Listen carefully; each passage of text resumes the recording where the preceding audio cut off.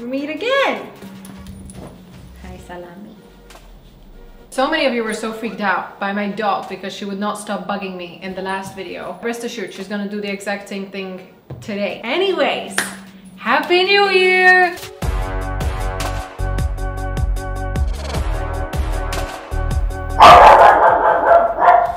Do you mind? Thank you. First order on our agenda. so many of you were super supportive over my hair and how thick it's gotten and long and I've got space buns and it's bringing me tremendous amounts of joy. Thank you. Second thing on our agenda. Look at my shoes. I'm so vibing with cute shoes nowadays. Oh my god. Anyways, third thing on our agenda. Last year I posted a video that I was a bit uh, reluctant and hesitant to post because it was a failure in my eyes. In this video I attempted to blonde in my friend even though I told her I'm not a blonde specialist but she was like let's try it and I was like I I wanted the challenge. It went about as well as you'd expect for someone who isn't a blonde specialist it was not perfect. I decided to post that video because I wanted to share with you that I do not know everything. Very few people know everything about their sector and I make it quite obvious that I prefer wigs, brighter hair colors and maybe bolder haircuts. Blondes I tend to stay away from just because it's such a specialized area and you need to understand hair so incredibly well. And I admit, I'm not someone who knows it very well at all. So I was like, I'll take you. You'll be my guinea pig. We'll see what we can do. The end result,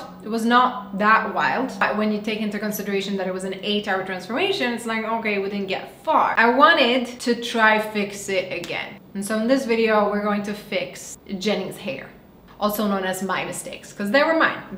It's jenny's hair but reality the title should be stella fixes stella's mistakes. I fix my own hair mistakes. Whatever. Let's get into it. So in the first transformation jenny literally just wanted to move up her highlights but she also felt like her roots were too dark. Like it was just too dark. So the whole the the kind of the vibe for the video was we wanted to brighten her and we wanted to make her a tiny bit icier. And I also gave her a Scandinavian money piece. So we ended up using highlights, which so many of you in the comments told me that you guys do not fuck with highlights because they never ever give you the results that you're after. And now I believe you because it turned her hair yellow orange. Actually i loathed my experience with highlights. I, I, do not know in what instance they should be used but on her hair which was just actually too dark for it and too warm it just turned her orange. So it made me freak out. I dyed her hair with a bunch of toners. I bleached her hair twice. It didn't do anything. Her money piece was way too warm. It, it, in the end she kind of ended up silver but her ends were still way too yellow. And for it being an eight hour transformation you were expecting oh my god I was expecting transformation in the end it was like eh. so this time around she came back and her ends were still too yellow and her roots had turned warm it was just a bit of a mess so this time around, I reviewed a few of your comments. You guys are so incredibly supportive on the last video and so many stylists actually reached out with solutions or reasons for why things did not happen the way they wanted to happen. One of the things that I had such a hard time figuring out what was going on is the fact that her hair, despite being blonde at the ends, would not bleach. It would not go lighter than that. It would just remain yellow. We bleached it twice and then we toned it twice and it remained exactly the same. And I could not for the life of me figure out what was wrong until literally everyone commented the same exact thing and it didn't hit me. I don't know why it didn't hit me. Sometimes you're looking for really complex answers and, and I just, I completely missed the simplest one, which is? That in Malta we have hard water. Hard water means that the water has a lot and a lot of minerals that attach to the hair. Magnesiums, calciums, coppers. These not only stick to the hair and appear as a barrier, but they also dull the hair and make it appear more brassy. Exactly like what Jenny's hair was doing. Both Jenny and I use hard water. The metals on the hair as a result of it was acting as a barrier, not allowing the bleach to penetrate the right way and also distorting the blonde way. I should have started with was a metal remover or a filter. Malibu C have a really, really good one. Color Wow also have a really, really good one. I neglected to do it. Sad thing is, a lot of these comments were actually posted after I then attempted to fix her hair second time Even in this transformation, I don't end up using a remover. I kick myself for it because it's one of those things that you're looking for complex answers. You're looking to try figure out what their hair history would prevent product from entering and it really it, you don't consider daily factors. You don't consider environmental factors. Step one if you live in an area where there's hard water use a bloody metal remover mineral remover. This is gonna save you a lot of stress. But so let's get to the actual transformation. Um this was jenny's hair when she came back the second time around. Her hands were still quite warm, but then her roots turned fully yellow. All of the ash, any ash that she had that we successfully managed to put into her hair, it washed out. I'm not sure why this washed out so quickly despite being a permanent dye, but it washed up and it left her completely gold. It like she was gold. So her roots were a 7.4. I checked it, which on the Schwarzkopf color chart is gold.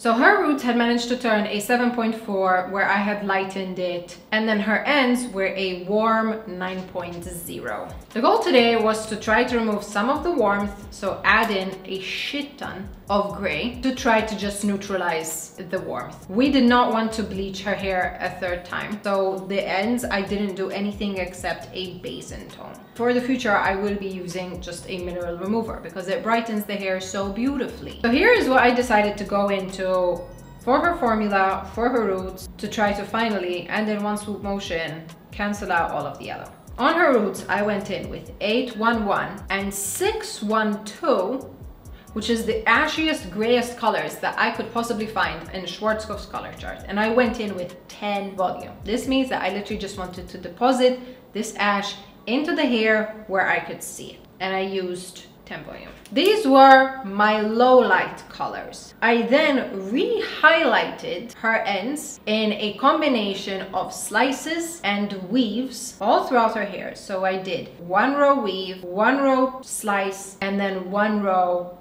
low lights. And on her bleach, I literally just used the bleach, Blonde Me Bleach by Schwarzkopf with 10 and 20 volume to try to lift her hair. It worked extremely well. On her roots, I had no problem bleaching it. It was literally just her ends. It was very sad. I did this all throughout her head, not really focusing too much on the back of her head and mainly focusing it on the front. Basically bringing more blonde into her hair and removing more of that gold, simultaneously depositing a lower light ashy color all over it. The hopes would be that I would get kind of a zebra effect on her roots. So literally we're going for that because we were going to tone at the basin. Once again, probably another two hours to do her whole head. I do not know how you guys do it highlights took it out of me absolutely took it out of me i realized just how much i love block coloring but it is also one thing i'd really love to improve this year like as a stylist or any any profession in any industry you have an option of either just focusing on what you do know and never attempting what you don't know or else trying to start working towards the things that you don't know and one of the things that i struggle with is highlight application, especially when it comes to timing. So I did all of this and essentially by the time I had finished the front of her hair, it was literally time to move her straight away to the basin to start removing the back highlights. I was super happy to see that her back lifted to a banana yellow hair color. So I started just dry rubbing all of the bleach that was ready, removing the foils, making sure they were all okay. Obviously, because this wasn't toned, the roots were brighter than her ends. This is normal, but internally I was freaking out. So I'm like, oh my God, I hope the toner works. I hope it's going to deposit well. I hope it's going to look good. I hope we're gonna get her ashy. It's a lot of panic internally, basically. Finally, I took out all of her foils literally everywhere. And I was glad to see that most of it lifted beautifully. Again, she was super like chunky. Like it was looking like 2000s Christina Aguilera. Like it was, it was it was weave after weave. It was not like blended at all but that was fine. I was like i i need to trust the process. Like sometimes you just need to trust the process. So then i decided to tone her with a mixture of 9-1 which is an ashy blonde 0.22 which is a blue concentrate and 8-1 to darken it slightly. I did all of this with a 10 volume applied it at the basin towards every single inch of blonde she had on her roots that we literally just bleached. This is one of those moments that as a hairstylist or even if you're attempting your hair, sometimes you really just have to trust the product. I was hesitant at this point because in the previous video you saw that I trusted the product and it did not do well. It did not perform as it was instructed to me. But I put this all over her and at the same time I ended up going in with Schwarzkopf's silver dye, mixed it in with a hair mask and applied that all over her ends. I left this all on her hair for 20 minutes, kind of always looking at it, making sure it was developing well. To my satisfaction it started looking silver to be honest i'm scared now that i took her bit too silver like in her hairline. By the end of it it was very much like giving like gray. I really really really liked it but i also knew that it was going to wash out quite quickly just because of how i knew jenny's hair would be. So i was like don't worry this is going to fade. When i took her out of the basin I washed her, I did everything. Her hair was feeling amazing. I will not stop reiterating this throughout all of my videos. I don't know what Jenny does. I don't know what she's made of. I don't know what her European blood is giving her her hair throughout all of this, despite being quite fine. Not break, did not shed, did not give up. The only thing I would say is that it felt rough. But I can now attribute this to it being very hard water because hard water, the one thing you can feel is that it feels a bit rougher. Like the texture does not feel silky, it feels like it's coated. Regardless, I washed it out. I then took her back to the chair and I was like, let's see what we're left with. I don't think I ended up recording her blowout, but I did end up getting you the very final look. Keep in mind it was close to midnight at this point because she had come literally after work and this still took four and a half hours, but it was not giving yellow. It was not giving orange. It was a lot more blended. Even when we kind of lifted up her hair one of the best ways to tell if you know you did a good blonding job or not is whether you can see it at the hairline at the nape of your neck. I was very satisfied with the results. There were still areas that i could see that i wanted to improve on like the effect of the highlights was very chunky and again, this is something I wish to improve. Unfortunately, baby lights just take so long that you feel like you're just spending your life baby lighting. Her hairline also was considerably more gray, but I was like, this is still a better alternative to her looking yellow. So in the end, she walked away at close to midnight with hopefully much more of like a silver fox color. I was even kind of happy with how her ends were looking. That being said, I, I still want to give it a go once more. But yeah, that is that is kind of the tactic that I took this time around. You guys definitely helped in in bringing to attention quite a few different factors that do play a factor in hair. That is one of the greatest things that I learned that I think I should definitely instruct you guys is that so many factors play into hair that sometimes even as a stylist, you aren't able to fathom it all. Because when her hair was not lifting the first time, I was like, either there is a barrier on her hair, there is a treatment that she's not telling me, there is hormonal effects that might be compromising her hair like she is a mother. Maybe that hair that part of her hair was the hair that she grew during her pregnancy. There were so many things going through that i was like trying to just take into consideration like whether the product was working whether i was using the right product whether the technique was correct whether it was expired whether it was the wrong batch whether i was at fault. That hard water literally didn't even come into consideration. That's how complex hair is. This year I'm definitely going to focus on honing the skills that I'm not as confident in highlights being one of them, blonding transformations being another. There are so many things that as a stylist, as a creative, as anyone in the industry, you have so much that you could always learn. You literally never stop learning. And one of the things that I enjoy doing, especially on this channel, is educating you. I can educate you on things that I know, but on things that I don't know, I'm going to be sharing with you my failures, my vulnerabilities, and hopefully the things to avoid doing or instead opt to do because of what I learned. I will say through all this, Jenny was an absolute champ. She is a really, really fantastic person for me to use as a guinea pig, as weird as it sounds. She was the one that was kind of pushing me to do this in the best way possible because challenges are something that you should always step up to take.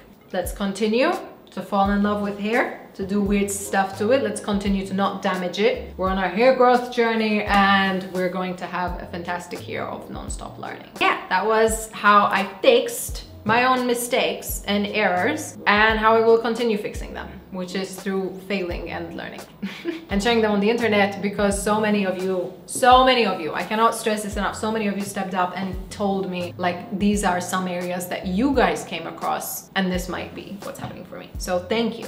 Thank you for, for seeing me, for seeing me as a human being, for not trashing me. I really, really, really appreciate that. I hope you enjoyed this video. I hope you'll give it a go and I will see you in my next video.